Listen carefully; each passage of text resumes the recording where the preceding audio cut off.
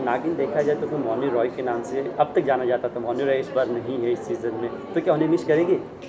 जो फैंस हैं उनके और ऑब्वियसली जो मोनी के फैंस हैं वो कहीं ना कहीं मोनी को ढूंढना चाहेंगे इस शो में। और ऐसा शायद नहीं है कि मोनी बिल्कुल नहीं है तो उनके फैंस के लिए भी कुछ है। और मुझे ऐसा लगता है कि कोई भी फ्रेंचाइज कोई भी कहानी जो क्रिएशन होती है वो हमेशा एक्टर्स और स्टार्स से बड़ी होती है। और यहाँ पर भी सेम चीज़ है the real hero is the story और जब आप ये शो देखेंगे तब आपको समझ आएगा कि कहानी इतनी ज़्यादा ग्रिपिंग है कि आपको मौका ही नहीं मिलेगा किसी के बारे में सोचने का। मीन्स हम ये बोल सकते हैं कि मोनी के बीच में शायद एंट्री हो भी सकती है नहीं भी हो सकती है? अभी मैंने ये तो नहीं कहा कि मोनी शो का हिस्सा है Yeah. लेकिन मैंने ये भी नहीं कहा कि मोनी शो का हिस्सा नहीं है। तो फिर मैं क्या कह रही हूँ? ये जानने के लिए देखिए नागिन सीज़न थ्री ओके